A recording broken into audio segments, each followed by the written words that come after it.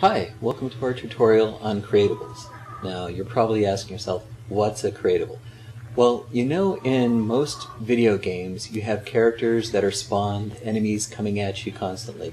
Well, in Kodu, normally you can just, when you create a character or you create an object, it has no programming in it, so it doesn't do anything. What Creatables allows you to do, you can tag a character as creatable, and then all the programming in that character, when it's created and, or spawned, it will then be there live and it will be a fully acting, actioning character in your game world. So, I'm going to start with the same shooting fish level that we started with before. And let's see, escape to get into the editor. First thing I'm going to do, I'm just going to delete all the characters in this um, using the character delete brush. It's a very quick way to delete everybody in the level. And then we'll start adding new characters. First thing I want to do is I'm going to create my creatable fish. So let me add the fish. And now, in order to mark him as creatable, when I right click on him and get the menu, instead of going to programming like I have been before, I'm going to go to change settings. The settings menu is a whole series of settings that you can set on character. Every character has these available. Um, to navigate through here, using the scroll wheel to move up and down, you can use the arrow keys to move up and down, um, or you can click on one of these elements and it will snap up to the center position. Now, what, what are we looking for? Ah, the creatable. By the way, if you ever wonder what any of these things are, if you go over and click on the help tile, it'll give you information about what they are. So click on creatable, so that's all good. Now escape to get back out. Notice he's glowing green now. That's our way of indicating that he's a creatable.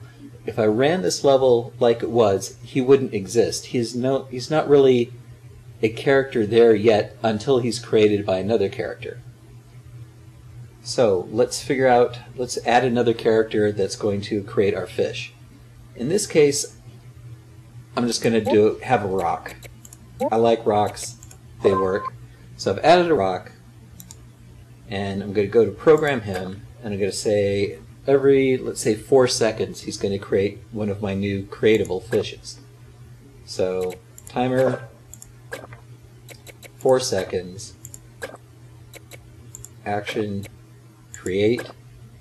And here where we normally pick the object we're creating, notice there's this new option now called creatables. And that's where the things that we've marked as creatable are stored. And since we only have one, that's the one I want to pick. So I want to have a way of keeping track of how many fish are currently alive. And what I'm going to do is I'm going to use one of the scores, in this case the white score, to keep track of that. So every time I create a fish, I'm also going to add one to the white score. So game, score, add one point to the white score. And as we showed before, I'm going to indent this so that every four seconds, what's going to happen, we will create a new fish and we will add one point to the white score.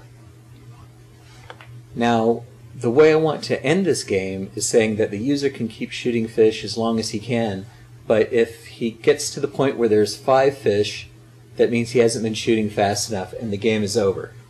So here I can test for that and say the white score is 5, then the game is over. So that way, that's how we're, we're looking at the white counter, which is counting the number of active fish, and we're saying, hey, if that ever gets to five, the user's gotten too slow, and that's game over. So escape to get back out of this, and now let's go ahead and program the fish. Now if you remember last time, the fish, all the fish did was wander around back and forth on the path. So we need that again, so we'll say move on the path, so they continue just to find the path when they get to any intersection on the path, any of the nodes, they just pick a random direction of the other to go down, um, and that gives them that kind of nice free form feel to them. But Now we also want to be able to keep track of when they die, both to, so that we can decrement the white score, and also so we can give points to the user for this for the score. So the way we can do that is we can test their health. When the health gets to zero, they're dead. So then we can say, okay, in that case, we'll subtract one point from the white score, which is what we've been using to keep track of the number of fish that are currently alive. And we will also add one point to the red score, which is the user's score. That's how many points the game player gets. Um, let me remember to indent that over. So, when the fish dies, subtract one from white and add one to red.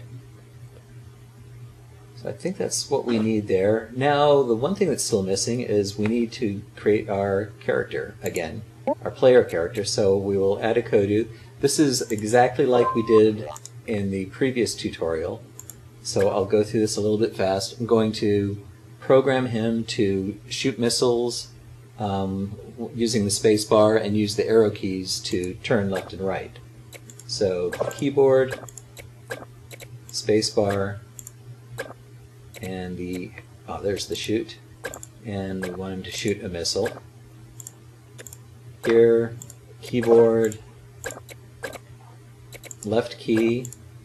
Want him to turn to the left um, keyboard right key turn to the right okay this is exactly the same thing that we saw last time so it should look familiar if I went through it a little fast, go back to the previous tutorial and I go through it much slower there. So let's see if this all works now. Click on play and the rock starts generating fish and you can see that the white score is keeping track of how many fish are alive. And let me see if I can actually kill some of these guys. Or not. Okay, I didn't kill any of them at all.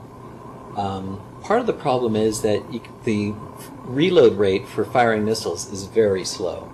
So I'm going to hit escape to go back into the editor.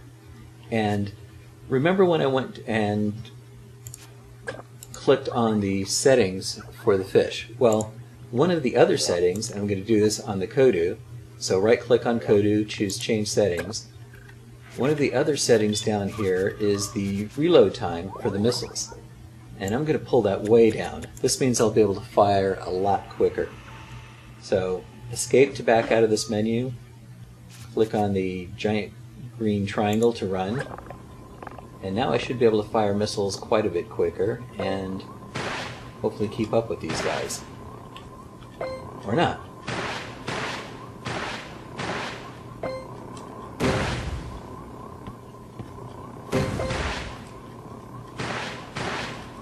Okay, so I'm still a pretty lousy shot. Anyway, so there you have it. That gives you the ability to use the scores to keep track of game state. In this case, we're using the scores to keep track of how many fish are currently alive. You're also using the scores just to keep them as scores. We showed you how to take a character, add some programming to it, mark it as creatable, and then you can have another character create these or spawn them as much as they want. So that should give you all the basics you need to create your own games. So go for it.